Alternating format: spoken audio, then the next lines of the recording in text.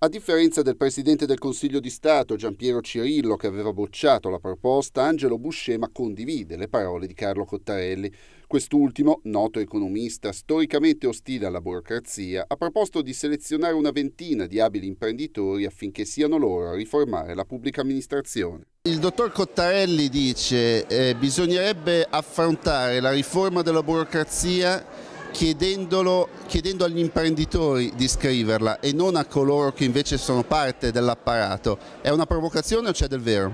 Ma è una, è una prospettazione che io ho detto, una prospettazione comunque interessante. È bene sempre sentire tutte e due le, tutte e due le, le, le angolazioni, quella degli operatori, ovvero sia i funzionari che operano nelle, nelle amministrazioni e anche quella degli, imprenditori che, che comunque si trovano costantemente a contatto con l'amministrazione. Io credo che sia soprattutto il dibattito possa essere comunque un elemento utile. Infatti collegato al tema dell'eccesso di regole c'è eh, la mancanza di decisioni. A volte i sindaci scelgono di non fare per paura delle conseguenze. Questo blocca evidentemente un sistema, piccolo o grande che sia.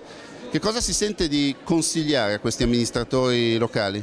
Io posso dire che per quanto riguarda le amministrazioni, le amministrazioni devono eh, fare delle scelte, operare e anche affrontare anche un, rapporto anche con la consapevolezza che la discrezionalità si può sbagliare ma bisogna agire, muoversi.